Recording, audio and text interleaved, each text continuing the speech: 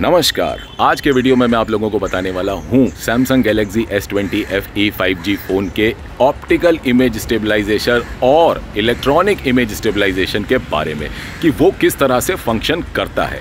तो इसका जो मेन कैमरा है और जो इसका टेलीफोटो जूम लेंस कैमरा है उन दोनों पर ऑप्टिकल इमेज स्टेबलाइजेशन देखने को मिल जाता है और बाकी के कैमरों पे हमें सिर्फ़ इलेक्ट्रॉनिक इमेज स्टेबलाइजेशन देखने को मिल जाता है, यानी कि अल्ट्रा वाइड और सेल्फी कैमरे पे इलेक्ट्रॉनिक इमेज स्टेबलाइजेशन देखने को मिलता है।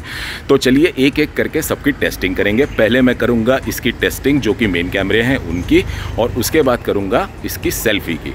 तो एक एक करके शुरुआत करते हैं और देखते हैं क्या रिज़ल्ट हमें देखने को मिलेंगे। तो अभी जो मैं टेस्ट करने जा रहा हूँ, उसमें ना मैं फ़ोन को इस तरह से पकड़ूँगा। या तो दोनों हाथ से इस तरह से पकड़ा होगा मैंने और या फिर इस तरह से एक हाथ से पकड़ा होगा। क्योंकि क्या है कि अगर मैं इसको ट्राईपॉड वगैरह पे लगाऊँगा तो उतना स्टेबिलिटी नहीं मिलेगी। तो हाथ का जो एक हल्का सा, जैसे अगर हमारा हाथ आप ये देखो ना, हल्का सा इस तरीके से मूव करता है, लेकिन फिर भी फ़ोन जो है थोड़ा आप देखो स्टेबल थोड़ा सा रहता है। जब हम भागते हैं तो हमारा हाथ इस तरीके से लेकिन अगर हमने ट्राईपॉड पकड़ के स्टिफ कर लिया उसको तो हमारा हाथ, जैसे मान लीजिए अभी मेरा ट्राईपॉड है तो मैं भागूँगा तो मेरा हाथ भी ऊपर नीचे जाएगा फ़ोन भी ऊपर नीचे जाएगा। तो वो थोड़ा ज़्यादा शेकी महसूस हो सकता है। अब क्योंकि भैया, हर कोई तो ट्राईपॉड लेकर के शूट करने वाला है नहीं, कि छोटा वाला मिनी ट्राईपॉड ले लिया, कोई स्टैंड ले लिया, जिससे पकड़ लिया फ़ोन तो हम जनरली जो शूट करेंगे, वो इसको हाथ में ही लेके शूट करेंगे ना। तो मैंने सोचा कि इसको हाथ में लेकर ही इसके रिजल्ट्स देखते हैं। तो चलिए करते हैं शुरू। तो अभी मैंने फ़ोन को इस तरह से होल्ड किया हुआ है। ये देखिए। और बीच बीच में मैं जहाँ ज़रूरत पड़ेगी मैं इसको इस तरीके से लेके भी चलने वाला हूँ। यहाँ हम देख सकते हैं मैंने इसको अल्ट्रा एच डी थर्टी पर किया हुआ है। और इसकी सेटिंग्स में अगर मैं देखूँ तो यहाँ पर हमारा वीडियो स्टेबलाइजेशन ऑफ़ है। तो इसको मैं ऑफ़ कर देता हूँ। मैंने कर दिया ऑफ़ अब आ जाते हैं, अब यहाँ देखते हैं कि ये एच डी थर्टी पे है सिक्सटीन टू नाइन पे है और ये हमारा सेट है पूरा वीडियो लेने के लिए कि जिसमें कि इस वक्त अभी ये ऑप्टिकल इमेज स्टेबलाइजेशन क्योंकि वो हम बंद नहीं कर सकते, वो उस पर रहेगा। तो अभी मैं वॉक करूँगा। तो अब जैसे कि मान लीजिए कि हाँ मेरे पास एक सब्जेक्ट है। जो कि आगे मेरे वॉक कर रहा है। अगर हमें इसका शॉट लेना है। अब इस तरीके का शॉट हम कहाँ ले सकते हैं जहाँ पे कि सिर्फ़ ऑप्टिकल इमेज स्टेबलाइजेशन हो और कुछ नहीं। तो जैसे मान लीजिए कि कोई आ, क्राइम सीन है किसी लोकेशन पे जा रही है पुलिस उसके पीछे से ऐसे शॉट लेना है कि भाई कोई इधर से निकलने वाला या कुछ होने वाला है। तो कुछ हैपनिंग एक्शन जहाँ पे होने वाला उस तरीके के सीन जब हम ले रहे हों तो इस तरीके से हम ऑप्टिकल इमेज स्टेबलाइजेशन पे कर सकते हैं। शूट अब हम लोग यहाँ पर इमेज स्टेबलाइजेशन को ऑन करके देखते हैं कि किस तरीके का देखने को मिले रिज़ल्ट तो अब हम मेन कैमरे पर रिकॉर्डिंग करते हैं। तो अब ऐसा सीन है ये कि जहाँ पर काफ़ी स्मूथनेस हमें देखने को मिल जाती है।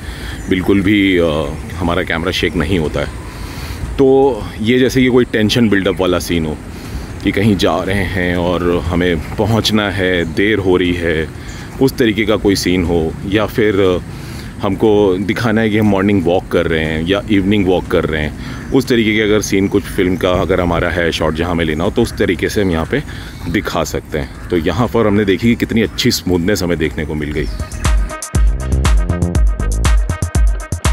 अब हम यहाँ देख सकते हैं कि जब मेन कैमरे का ऑप्टिकल इमेज स्टेबलाइजेशन के साथ इलेक्ट्रॉनिक इमेज स्टेबलाइजेशन भी साथ में मिल जाता है तो कितना स्मूथ और कितना अच्छा स्टेबलाइजेशन हमें देखने को मिलता है। देखते हैं अल्ट्रा वाइड पे कैसे काम आता है। तो अल्ट्रा वाइड अगर हम यहाँ सेटिंग्स में जाएँ और इसकी स्टेबलाइजेशन ऑफ़ करें, उसके बाद शूट करेंगे तो किस तरीके का रिज़ल्ट आएगा ये देखते हैं। तो अब जैसा यहाँ हम देख सकते हैं कि हमारा अल्ट्रा वाइड कैमरा काफ़ी हिल डुल रहा है, क्योंकि इमेज स्टेबलाइजेशन है ही नहीं। तो चलिए अल्ट्रा वाइड कैमरे की इलेक्ट्रॉनिक इमेज स्टेबलाइजेशन ऑन कर देते हैं। और अब ऑन करने के बाद क्या रिज़ल्ट आएगा, वो देख लेते हैं। तो यहाँ स्क्रीन पे हम देख सकते हैं कि इमेज काफ़ी हिलती डुलती दिखाई दे रही है। लेकिन वहीं जब हम रिज़ल्ट को देखते हैं तो इमेज काफ़ी स्थिरता के साथ हमें दिखाई दे रही है।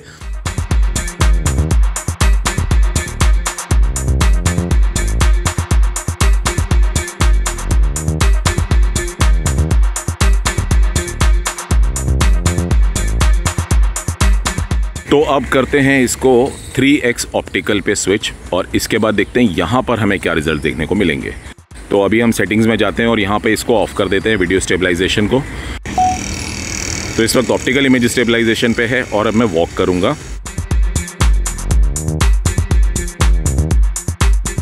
तो जैसा कि अभी टेलीफोटो लेंस पर जब हम शूट कर रहे हैं तो हम देख सकते हैं कि ये काफ़ी शेक हो रहा है। तो चलिए अब इसको हम वीडियो स्टेबलाइजेशन ऑन करके रिकॉर्ड करते हैं, देखते हैं तब किस तरह का रिज़ल्ट आता है। ये हमने की वीडियो स्टेबलाइजेशन ऑन और अब हम कर रिकॉर्डिंग यहाँ भी टेलीफोटो कैमरे का इमेज स्टेबलाइजेशन ऑन स्क्रीन हमें ज़्यादा हिलता डुलता दिखाई दे रहा है। वहीं जो फाइनल रिज़ल्ट है, वो बिल्कुल स्थिरता के साथ एकदम स्मूथ वीडियो हमें दिखाई दे रहा है।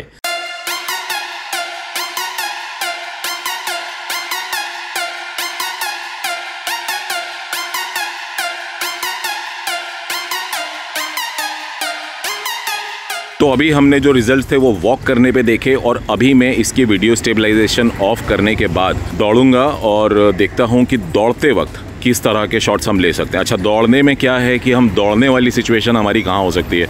अब जैसे कि मान लीजिए हमारा कोई सब्जेक्ट है जो जॉगिंग कर रहा है, अब उसको हमें शूट करना है तो हमें भी साथ में जॉग करना पड़ेगा। तो वहाँ पर एक सिचुएशन ज़रूर मैं मान सकता हूँ कि हो सकती है। ऐसे इन जनरल डेली लाइफ में हम हार्डली ही कोई ऐसी सिचुएशन होगी जहाँ हम भाग करके कुछ शूट करें। अब अनटिल अनलेस भैया कोई किसी का पर्स वर्स चुरा के भाग रहा हो और आपको उसका वीडियो लेना होगी हाँ यार, चलो, चोर को पकड़ लेते हैं तो अलग बात है बट वो रेयरेस्ट रेयर सिचुएशन कभी ऐसी हो सकती है।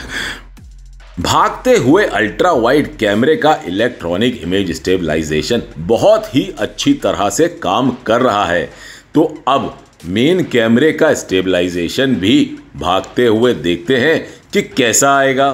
तो यहाँ हम देख सकते हैं कि जब ओआईएस और ई e दोनों साथ में मिल जाते हैं तो कितनी अच्छी तरह से काम करते हैं।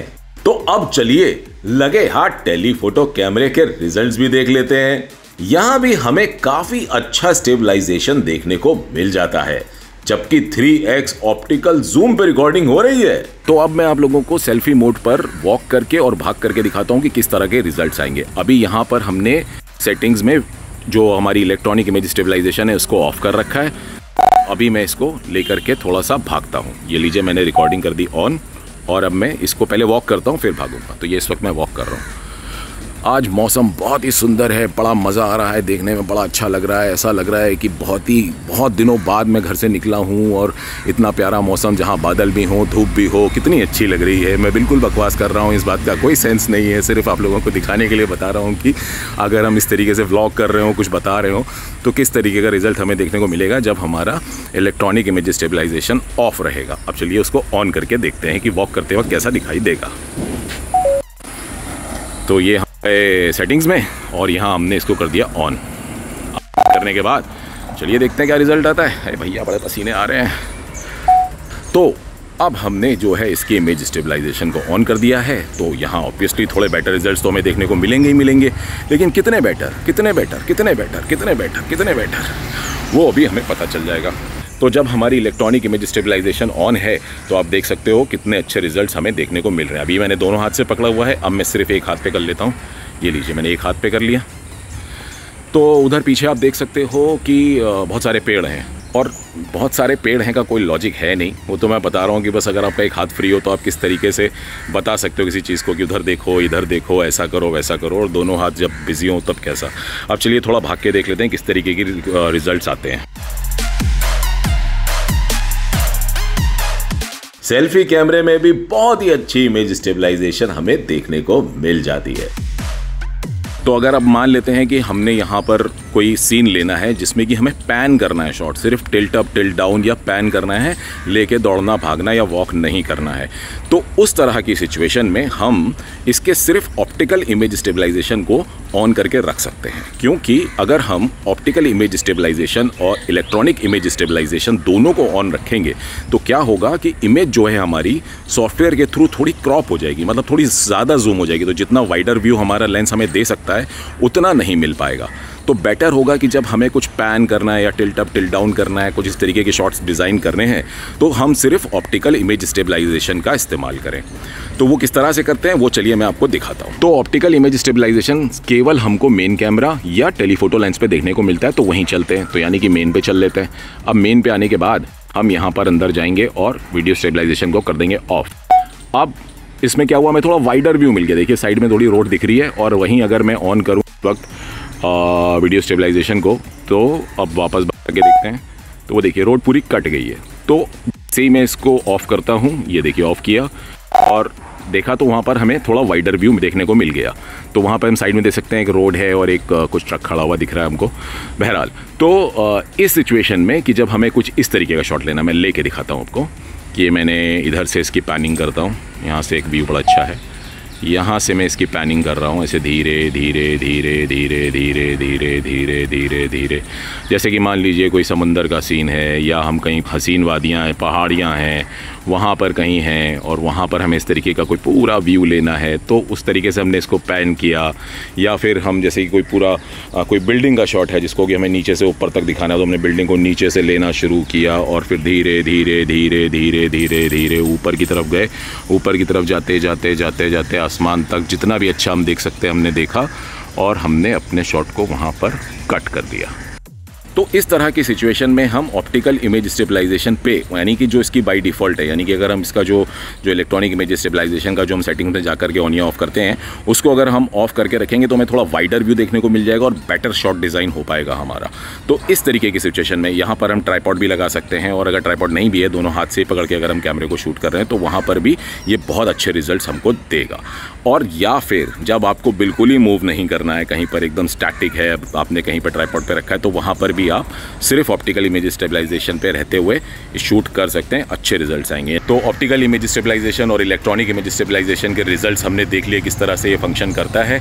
तो आज के वीडियो में बस इतना ही। अगर आप लोग को ये वीडियो अच्छा लगा हो तो नीचे लगे लाइक के बटन को ज़रूर दबा दीजिएगा। और अगर मेरे चैनल को अभी तक सब्सक्राइब ना किया हो तो सब्सक्राइब कर लीजिएगा। फ़िलहाल मैं आप लोग से आज्ञा लेता हूँ। मिलूँगा आप लोगों से दूसरे वीडियो में। तब तक के लिए आप लोगों का बहुत बहुत धन्यवाद।